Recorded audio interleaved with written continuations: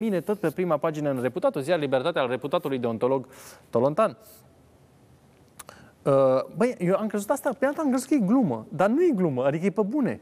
Zice, ce premii sunt puse în joc la loteria vaccinării? Nu, nu, eu am crezut că e glumă. Zic, n-are cum să fie. Adică când am auzit și eu că să face loterie, în primul rând, de ce?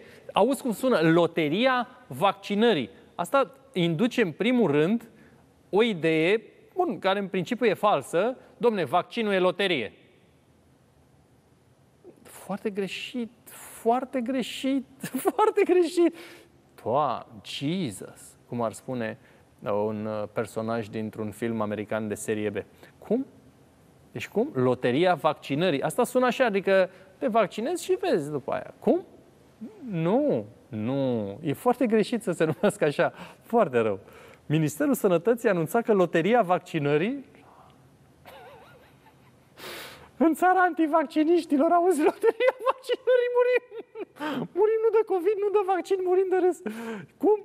Se va desfășura în perioada 1 octombrie-31 decembrie, enunțând condițiile de participare și premiile ce pot fi câștigate. Ce premii sunt puse în joc la loteria vaccinării? Câștigi al treilea rapel sau ce? Nu, nu, nu, nu, nu, nu există așa ceva. Nu, nu, nu pot, nu pot, nu, nu, nu. Eu, a, repet, am crezut că e la mișto. nu, foarte rău. Ok, Jurnalul Național pe pagina 1. Îmi place foarte mult că ne încăpățânăm, dar îmi place că suntem perseverenți. Unii ar spune încăpățânați, eu totuși zic că perseverenți. Că, asta, uh, ora este alb pe alb. N-ai cum. Ora este alb pe alb. Aici și în colț. Vezi aici. Ora, mă rog, nu ajung, e alb pe alb. Uh,